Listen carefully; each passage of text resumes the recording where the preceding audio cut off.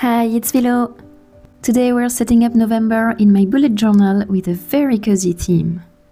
And for this, I used this Cats and Books washi tape from the washi tape shop. I love this style, it's like watercolor paintings of bookshops, old books and papers, cute cats playing or napping, and vintage furniture and even stationery and the loop is very long. You have a heap of variety and different sizes to combine and fit everywhere, so that's great for a bullet journal theme. And they sent me the washi tape one, but now all their designs are pre-cut. Even when you choose the PET clear tape version, the stickers are already pre-cut. As always, I leave links to all my supplies down in the description along with my discount codes. And when I saw this beautiful cat, I thought, hmm, what a distinguished gentleman. Look at the way he's sitting, yeah. it looks like a portrait of an ancestor hanging on the wall over a fireplace and stuff. So I immediately saw my theme. First, I put the cat right in the center, very dignified in his old age. He's sitting on a pile of books and luggage. I added a candle for the light and suspense books, a cat, and a candle. What could go wrong? And then it needs a frame to showcase this invaluable family portrait. Of course, it's been immortalized with its favorite ball of yarn. And I had this clear tape with brown lace.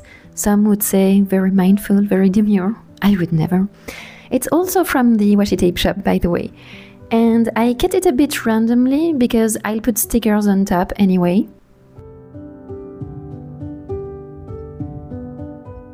I can't paste the frame yet because I have to start with the background, with old papers, a coffee cup, and we even have a banner with the title of our theme.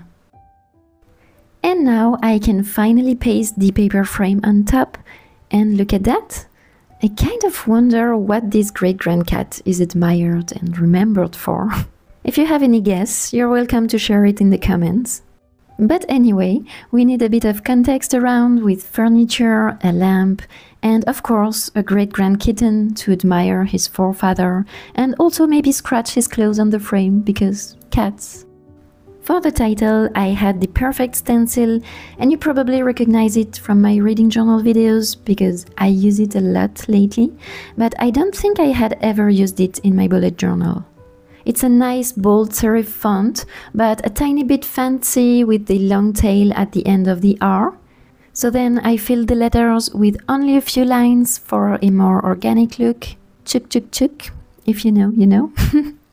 and I add a grey drop shadow on the right of each letter so they stand out.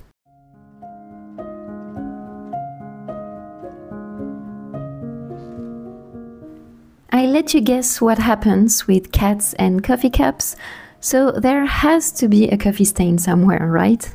So for this splash of chaos, I'm using the stencil from the Junk Journal set from Notebook Therapy. At the top of the page, I add a wide white washi tape with handwriting. This way it frames the page without stealing the show. And I rip it around the middle and paste it at the bottom of the spread.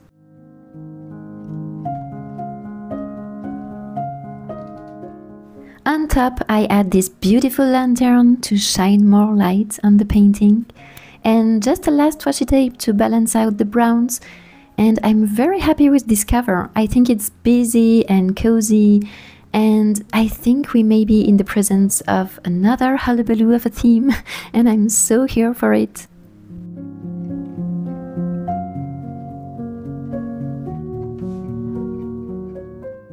On to the monthly spread and I'm starting with the main calendar for the month. I'm drawing a frame around the whole calendar and it's very simple wavy lines meeting at the center of each side.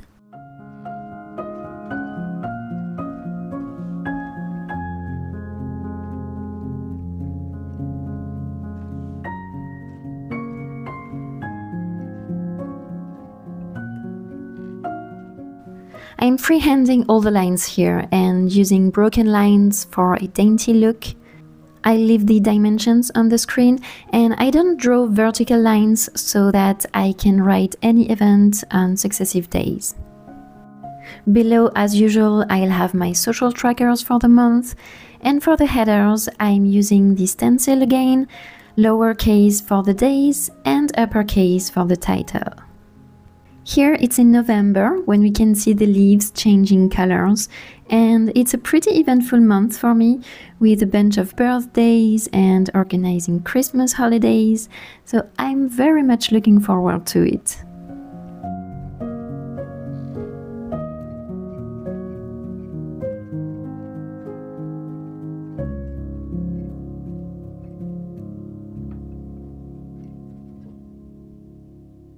I'm writing the title just like I did on the cover, but since it's from a bit closer, you can see I colored it with lines so that it's not too dark, there's not too much contrast, and I think it matches more the watercolor effect on the stickers.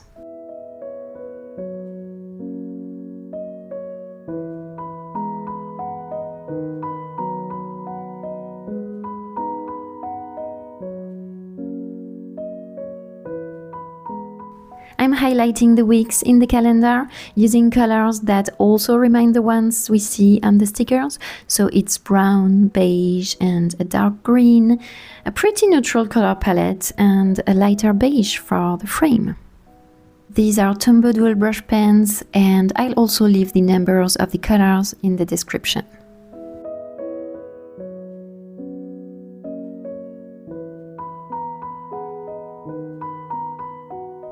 On the right, I'm highlighting a few lines for the books I read, which are usually between 3 and 4 or 5. And I'm starting this time with the white handwritten washi tape as the background for my collage. Again, ripping it in half to use the other half at the bottom.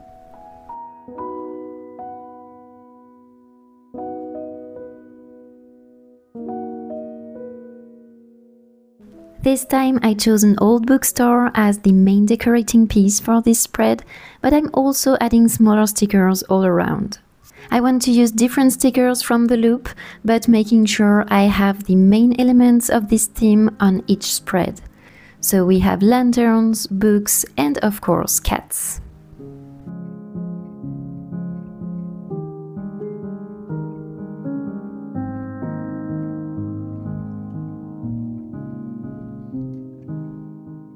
I keep a section for my main priorities for the month, and I thought this magnifying glass was more explicit to save myself writing another header, which turned out to be a good move because I started stamping the title books for the book section, but I think it's better not to use too many different fonts, so then I opted just to write everything else by hand. But back to the sticker tape. If you want to get yourself sticker tapes and you have a doubt as to whether you should choose the washi tape or the clear tape version, know that the background of the washi tape is very slightly white. You can't see it on white paper, but you can see the borders when you collage.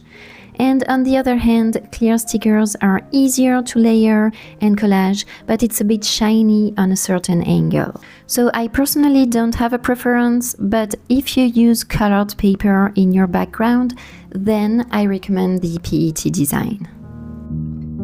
To finish up this spread, I remember to add a coffee stain for a touch of chaos and sparkles and shimmers for a touch of magic.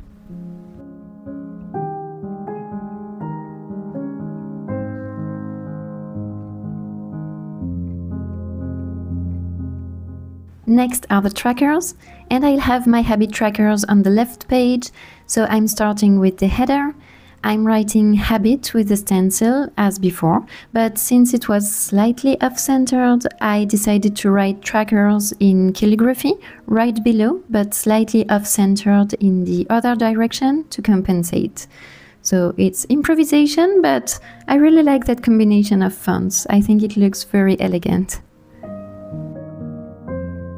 Below, I outline four mini calendars for my habits, and I'll also leave the measurements for you on the screen. And this month, I decided to bring my work hour tracker on this page because I changed my weeklies. You'll see what I mean in a minute. So my work tracker is very customized. You probably won't use the same, but you could do another habit tracker instead if you want. And I'm tracing all the inside grids with broken lines so it doesn't look too harsh, but I don't write the dates. The shapes of the calendars are enough to figure out the days anyway. To fill them in, I think I'll put a dot on the days I did said habit and the calendars were getting a bit lost on the page, so I'm bringing them out with a drop shadow.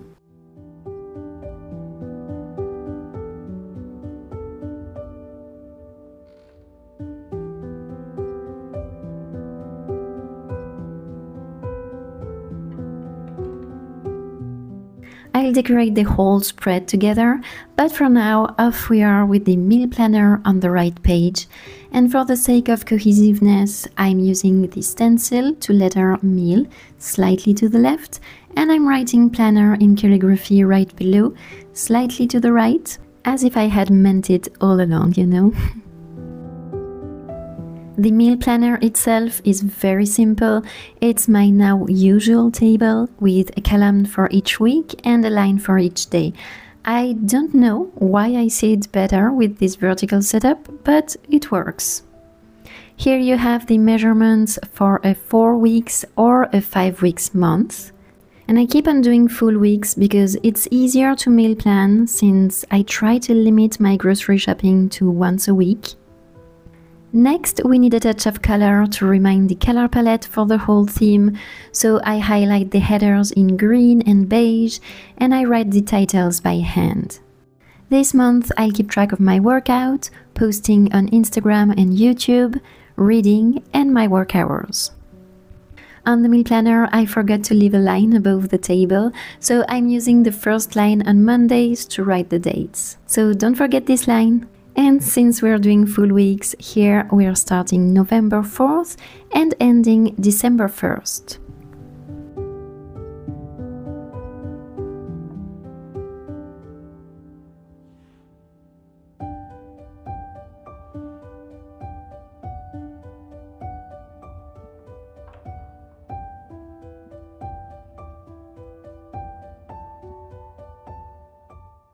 And now it's time for the fun part, decorating the spread with all the cute stickers. And my favorite is this big stack of old books. Of course, we'll need more cats. And here you can see I was figuring out where I wanted everything.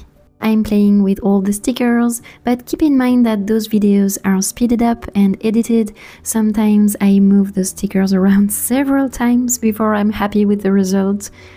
Themes where I draw are more straightforward to edit because I sketch them beforehand, but themes where I collage like this one, I only have a sketch for the layout, but I don't know what stickers I'll put where before filming. So there's quite a bit of footage you don't see of me basically trying and figuring things out as I go, but we don't need to see that. And I don't know if you noticed, but this very suspicious cat is clearly planning something with those books. I think it's purposefully miscalculating its jump over the tea and the candle, and maybe it's already left tracks behind it from its last encounter with the coffee cup.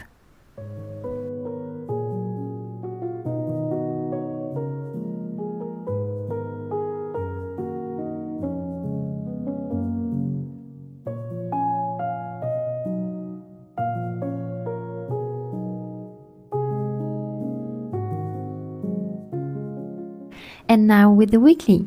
I'm starting with the white washi tape to see what space I have left for everything. Over the last few months, I did a lot of Dutch doors, but this month I really wanted to try different layouts again and enjoy the space, so we're back to full spreads weeklies. So for this first one, I'm going with vertical daily boxes, and again, I leave you the dimensions here. It leaves plenty of space to decorate on the top left and the bottom right of the page. And I'm only doing 6 boxes for symmetry. The last one will have to fit Saturday and Sunday, but let's not forget Sunday. What would I do without Sundays? Yes, thank you.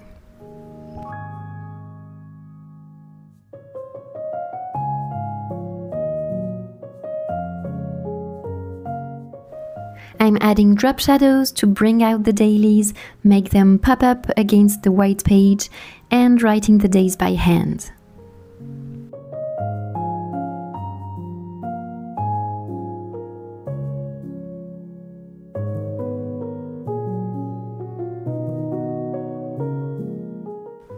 I saw that there were five different bookshop stickers on this tape, so I thought I would do a nice kind of street with only bookshops.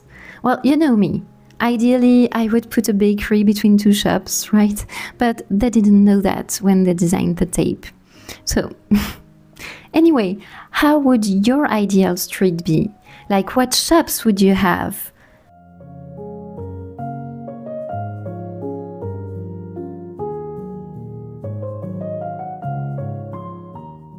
I thought I would write the title of the week as if it's the address above one of the shops, and then I'll just have to add more stickers with books and cats to bring it all together.